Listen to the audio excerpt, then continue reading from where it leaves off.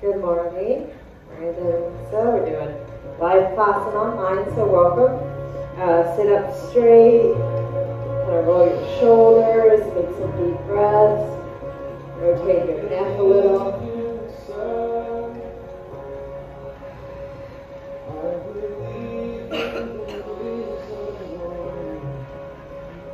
Dear Heavenly Father, we come before you today. We just praise your name.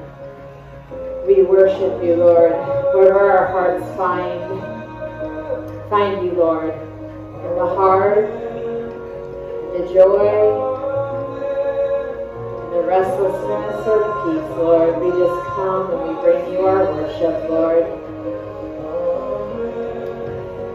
We just praise you. We praise you for your goodness and your mercy. We praise you for your word. We praise you for your spirit. So we just come and welcome you in this place, Lord, to come and speak to our hearts, minister to our minds, Lord.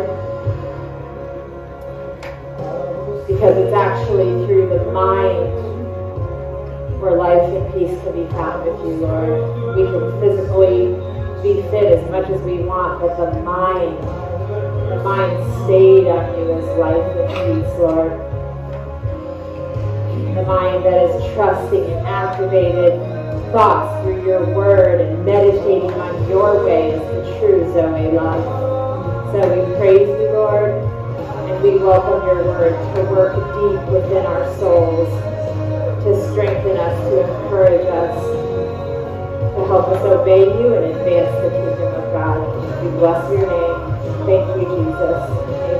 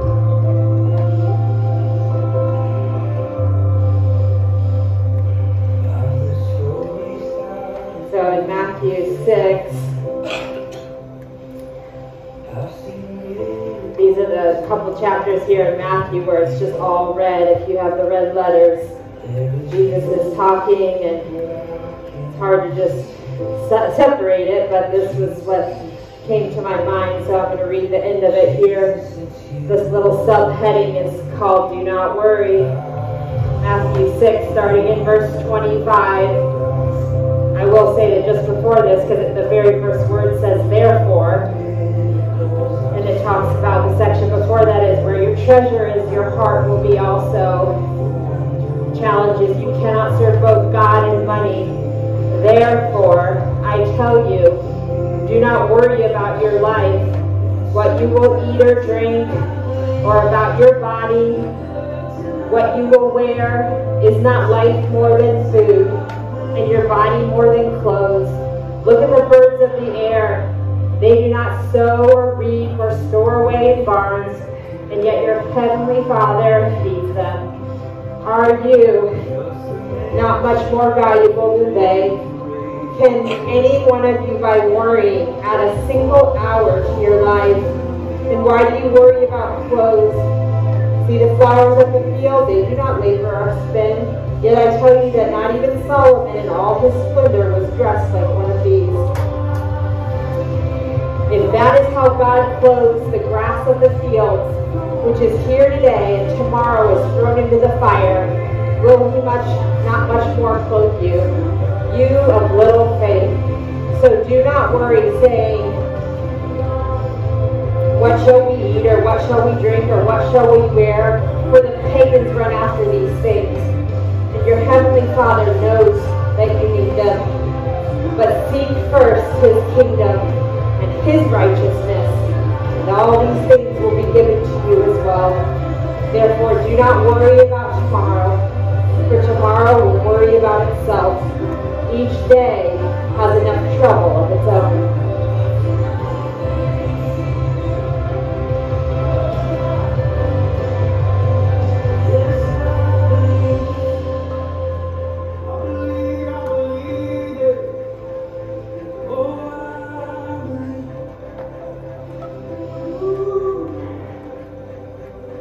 Seek first his kingdom and his righteousness. And all these things will be given to you as well.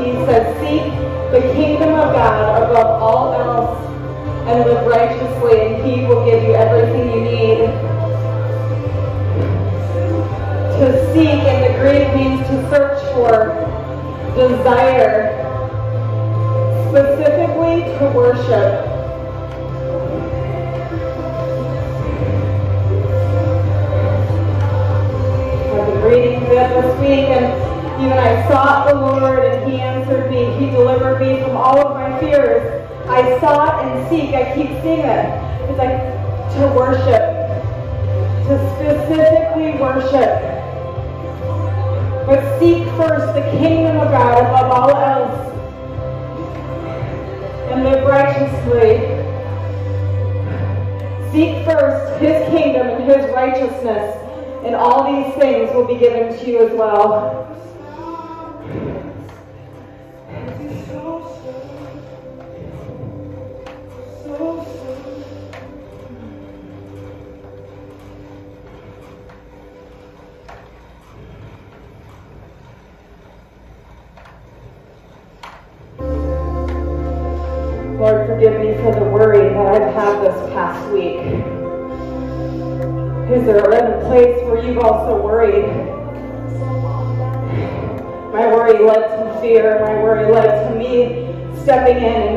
provision.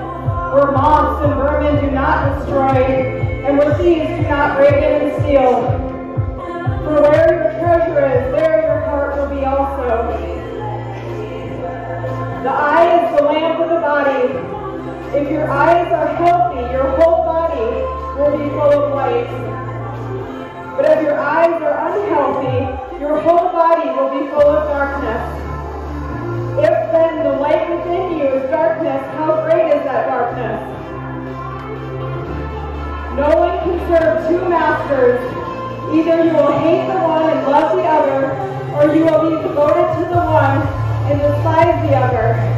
You cannot serve both God and money. And then it goes into, therefore I tell you, do not worry about your life, what you will eat or drink, or about your body, what you will wear. And the rest of that that she read.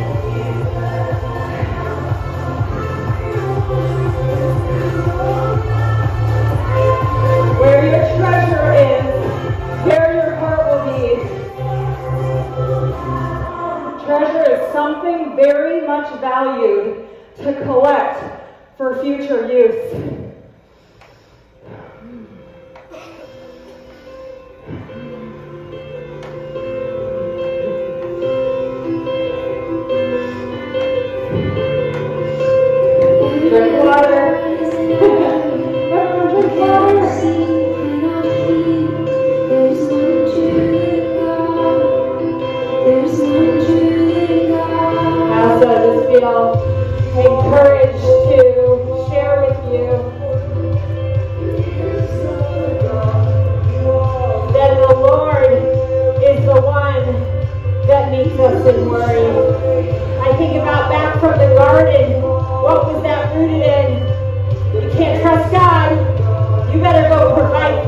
Oh.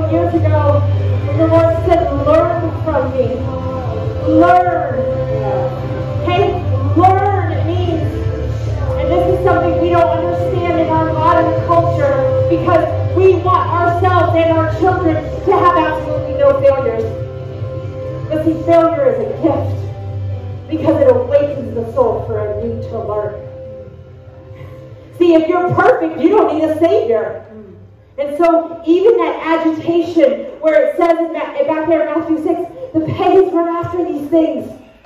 But see, like, is your soul restless?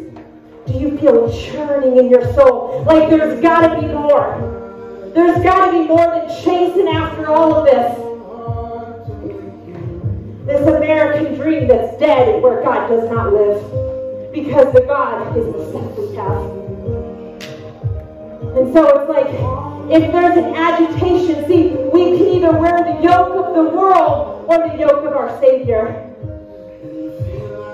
And I just look back as I reflect my testimony. And man, you guys, if I wore a yoke, it was a yoke of slavery to fear and worry. It was actually one of the very first things when I saw God come to transform me. He said, You fear me, you don't trust me, and we need to deal with this. And see, He's the one that stirred it in my soul I get to come and agree. I remember writing in one of my journals, God, I don't even know how to be different. I don't know how to do it a different way. All I know is worry. It's my best friend. I, I don't even know, like I want to. I want to. I don't know how. And so it's like, it's through the learning. And I remember one time being like, man, Lord, we gotta ever get over this. How many years and hours have I wasted worrying? And while I couldn't see it as a waste, the Lord was teaching. He would say, Come and learn from me. Come and learn in this place so that you'll never walk away telling somebody, oh yeah, just do this. Or it's me. Yeah, that's good. I figured. I went to therapy, I did this, I did that. No, it was me learning based on the ground in failure before the Lord.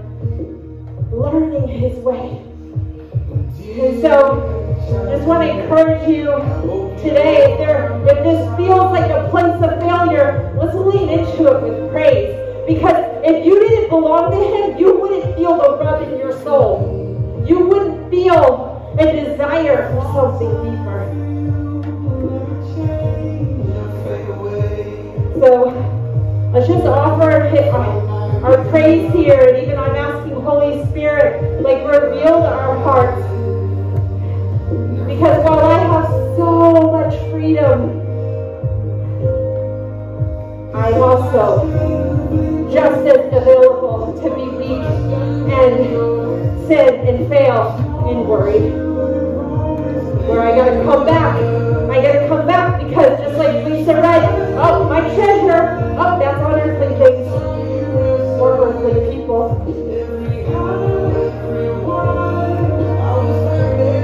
By his goodness, like offer praise here.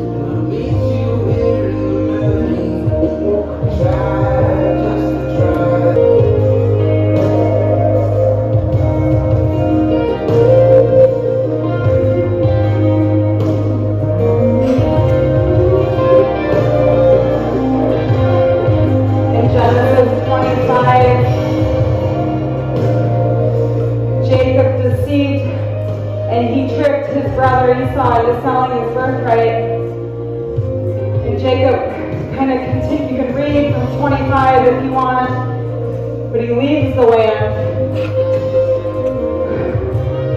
In verse, in chapter 28, he has a dream, and, she, and God says, I am with you and will watch over you wherever you go.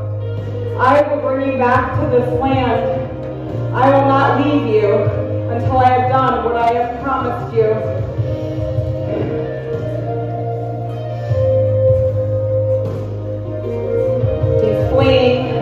In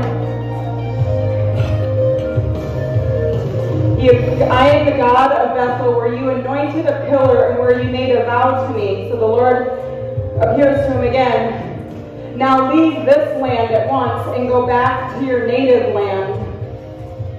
So as Jacob's preparing to meet Esau as he comes back, I'm going to read where Jacob wrestles with God, but he was in great fear and distress. You said to me, Go back to your country and your relatives, and I will make you prosper. I am unworthy of all the kindness and faithfulness you have shown your servant. Save me, I pray, from the hand of my brother Esau. So you can read some of that there as well. But I'm going to read Jacob wrestles with God. That night Jacob got up and took his two wives, his two female servants, and his eleven sons and crossed the ford of the Jabbok.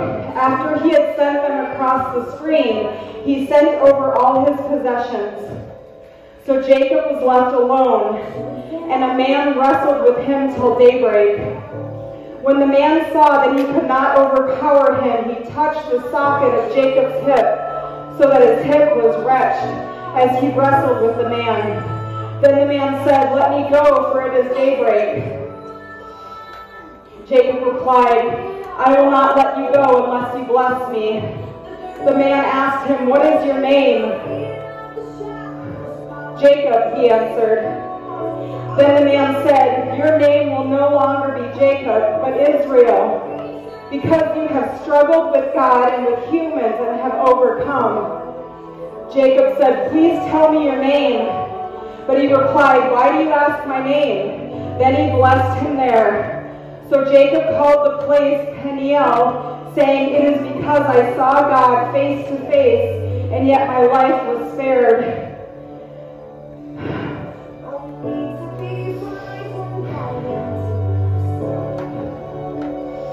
I always think of this section here where it's like he's preparing to go back. He's preparing to obey the Lord and go back to this, this land where he had, he had um, deceived his brother into stealing his birthright. And thinking about the wrestling, what would go on in my heart? What worry or fear would I be thinking?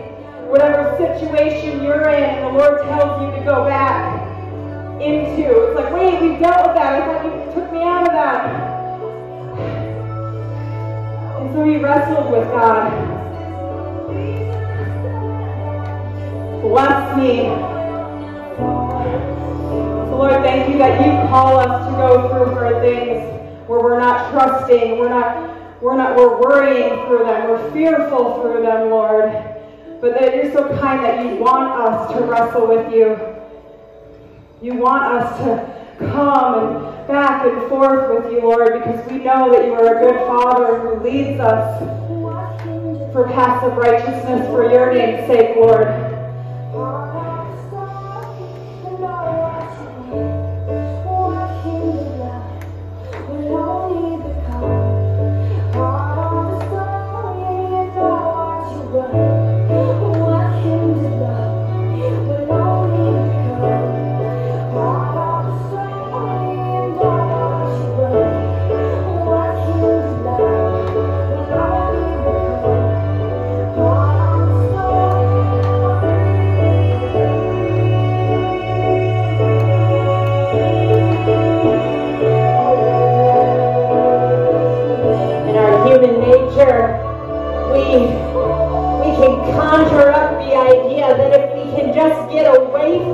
Problem, then that is our deliverance. But see, if our Savior would have done that, he would have called on the legion and he would not have gone to the cross. Paul said, we, we don't want to empty it of its value. If faith could be, if righteousness could be achieved by the law, then Christ died for nothing. And even there, Jacob, he, he got renamed him after he wrestled with him. Put out his hip and called him Israel which is he, the people that wrestle with God. You see, he was going to go back into the land where defeat, and he had an old name. That old name, deceiver. His own brother knew it well. What's your old name? What's your old name? And you don't want to go back into the land where your old name was. But it's in that place where the Lord can prove, prove you, prove himself to you that you're living a different way now. Though we wrestle against blood, um, we don't wrestle against flesh and blood, the principalities and powers. Our wrestle is in the spiritual. It's like he's calling us to fight from that place.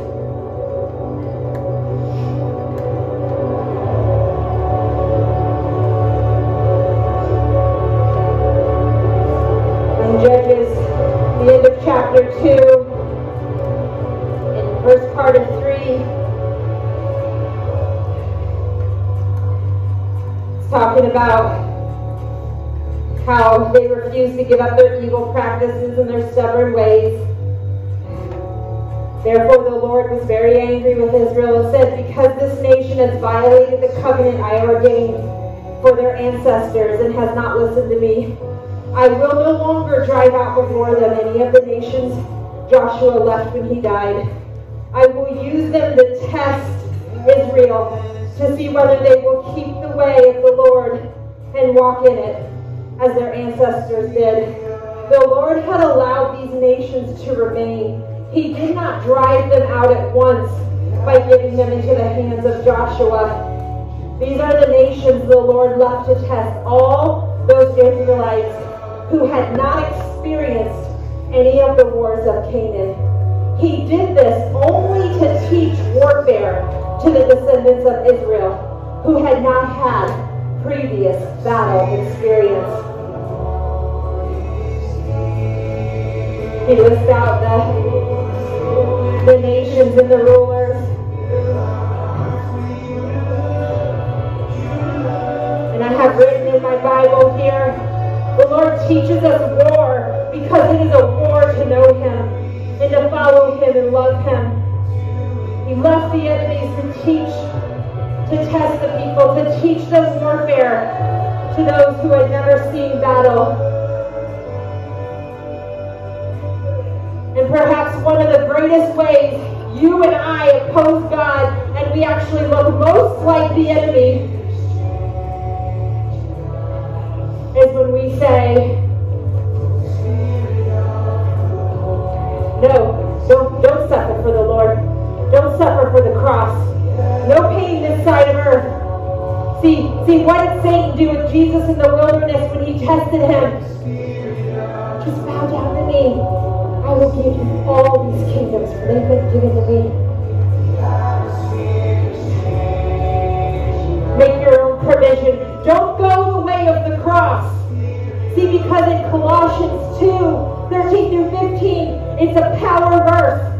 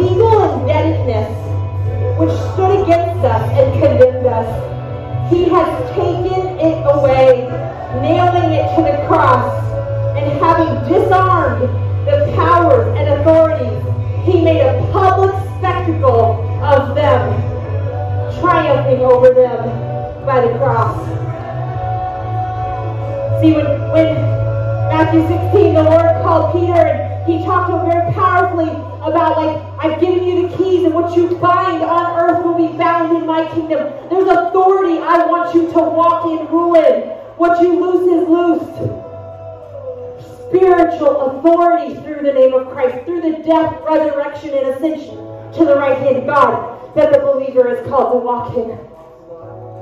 But what grace? The Lord's like, I'm going to build my church on you, Peter. I, I got to go die. I'm going to go die. Our minds don't die. Don't die. Don't die. Worry, worry, fear. So what does Peter say? He rises up in a bold rebuke to Jesus Christ, the Son of the living God. Lord God, I forbid it. No, you will not die. Jesus says to him, Get behind me, Satan, for your mind is set on the things of earth and not on the things of God. You see, because unless a bird, crane, a bird, not how can the word, kernel of wheat falls to the ground and dies, it remains alone. But if it dies, it bears much fruit. And those who love their life will lose it. And those who lose their life, those who hate their life, John 12, will have everlasting life. See, this is the way of the cross. It's upside down. The kingdom of God is not, is rarely, will rarely be in unity, I will say, with this earth kingdom. More often than not, it's the opposite. It's the opposite.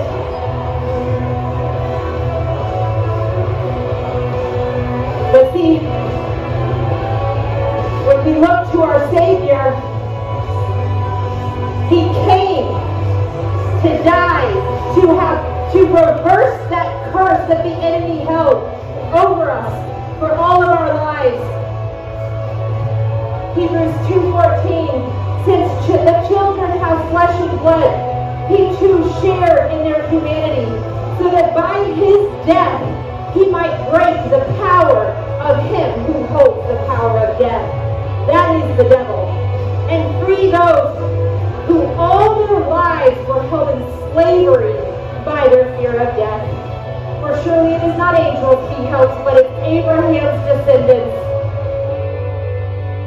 For this reason he had to be made like them, fully human in every way, in order that he might become a merciful and faithful high priest in service to God, and that he might make atonement for the sins of the people. Because he himself suffered when he is tempted, he is able to help those who are being tempted.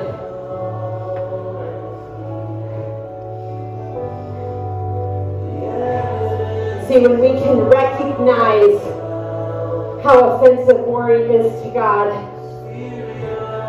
it's actually the beginning, like cracking an egg, the beginning of hearing a different way, of living by the kingdom of God. And so I back again want to encourage you, if you feel weighed down by a lot of things, let's let that be a praise. See, because the proud man doesn't need God, he's got it, he'll figure it out himself. And see, that's why Jesus considered the Pharisees worse than the harlot. Because she's like, what's about this water? Well, what are you saying about this water? She was not ashamed when he told her the condition of her heart. The Pharisees and that spirit of religion practices forms of obedience that can be checked off, leaving the heart unchecked. So it's actually a gift if we're in the struggle. It's actually a gift to learn. So even if it feels hard, can you give him your praise? Can I give him my praise for it today?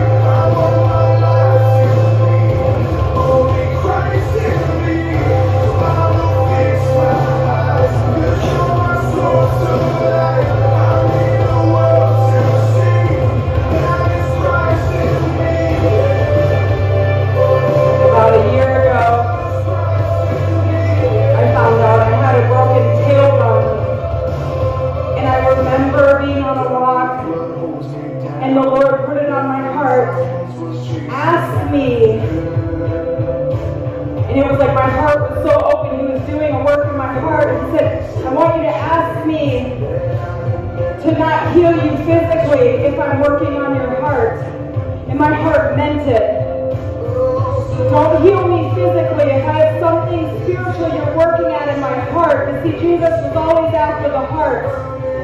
And here we are still a year later, and I feel like I can hardly raise my arm to worship because it's my neck and shoulders.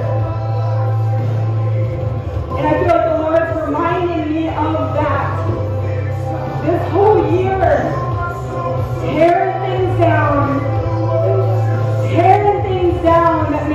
were. I want to read you the parable of the hidden treasure. I'm going to read it twice. You want to close your eyes and think of what you what you think of with this. The kingdom of heaven is like treasure hidden in a field. When a man found it, he hid it again. And then in all his joy went and sold all he had and bought that field. See, I used to think that that parable was about me selling everything. I had listened to a message a while ago, and I'm going to read it again and picture this. This is Jesus. The kingdom of heaven is like treasure hidden in a field. When Jesus found that treasure, he hid it again, and then in joy went and sold all he had and bought that field. You see, we are. We are his treasure. We are his inheritance. It says in Ephesians, I'm going to read it here.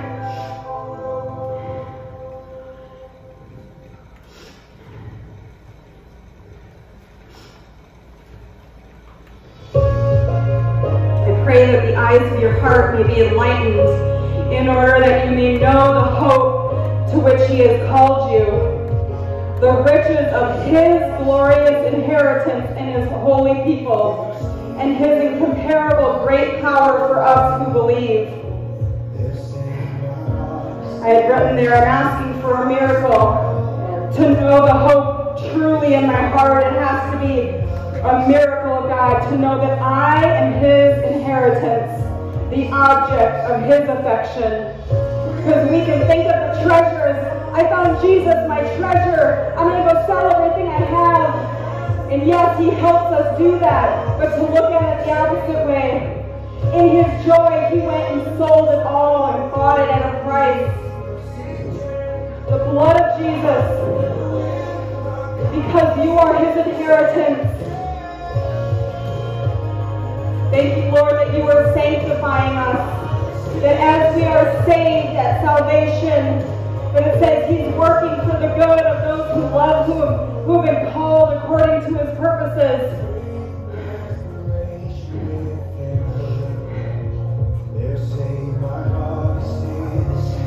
For those God foreknew from Romans 8, He also predestined to be conformed to the image of His Son that he might be the firstborn among many brothers and sisters. And those he predestined, he also called. Those he called, he also justified. Those he justified, he also glorified. What then shall we say to response to these things? If God is for us, who can be against us?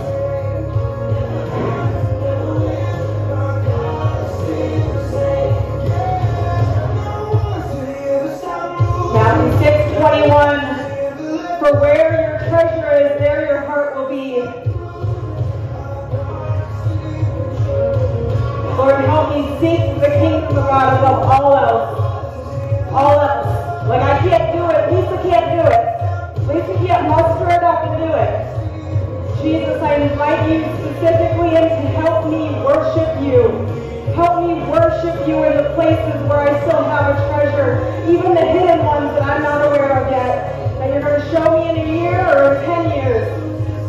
So I invite you in, Holy Spirit the living God. Heal me spiritually.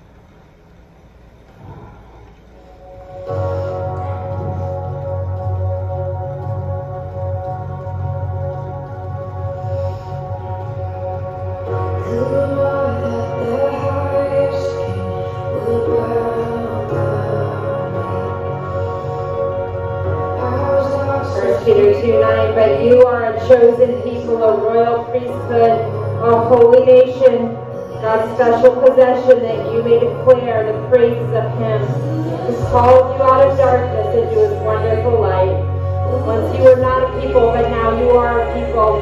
Once you had not received mercy, but now you have received mercy. Lord, I specifically lift up this, this area of worry, fear, self-provision, unbelief, Lord. And I ask that by your great and divine mercy, that you would do what Lisa read in Ephesians 1 there, Lord. That you would do that in our hearts, Lord. I even ask that you would call us in the face of what we feel or what we worry, it's like I see it right here, and then we say, but your word says. Some people say, well, I don't know how to pray. Then I just say, pray the word of God. Pray the word of God. Lord, what she read Ephesians, Lord, can you do this for me? Pray the word of pray it. It will go down deep. It will begin faith. Faith comes by hearing, by hearing the word of God. And sometimes it's best when you hear yourself say the words. You're preaching the gospel to yourself. I'm preaching the gospel to myself. It's at the same time. See, salvation is springing up at the same time. So Lord, give us eyes to see it. Give us eyes to see that in our weakness, you're calling us, you're training us, you're teaching us, you're writing your word on our hearts. You're fighting for us. Lord, may fill our hearts with faith. And may we treasure your kingdom above our own. May our lives be that treasure, Lord. That broken vessels as we are, you're going to use us to proclaim the glory of God and his praises and how he's been delivering us from the kingdom of darkness. Lord, we praise you and we thank you. We ask that your word go out and multiply, that it would, just like the rain that waters the earth, that it would give bread, uh, seed to the sower and bread to the eater, Lord God. Your word would go out, that you protect it from the evil one, snatching. We thank you, Lord. We thank you for your word. We thank you for this time. We praise you.